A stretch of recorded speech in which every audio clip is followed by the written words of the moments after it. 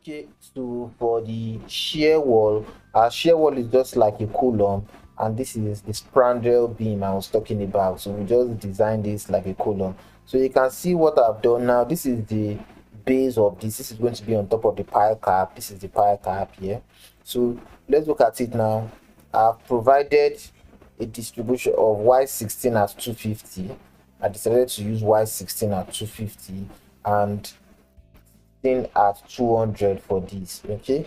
So we can look at this and learn the detailing technique of it. Now the reason why i'm doing this from here to here as four is because this place is open so the reinforcement can just go through all of it. So it only goes from here to here and from this corner to the other corner. You can see that. While this one can go from here to here because this is on top of the spandrel so we can see the distribution bar with it so let's go to the other one at this portion. Okay. So let's see this one at this portion.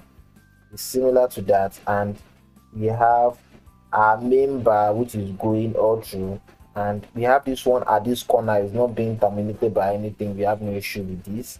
And we have our distribution bars which is this. Okay.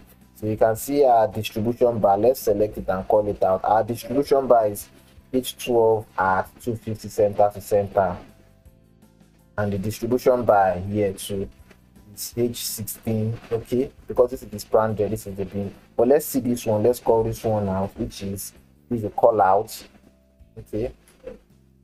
Let's see it where it was called out. Okay this is it. So you can see it h12 at 250 center to center so that's just the basic of wall detailing just like a wide column nothing special. Um, thank you for watching today's video. If you have any question you can drop it in the comment section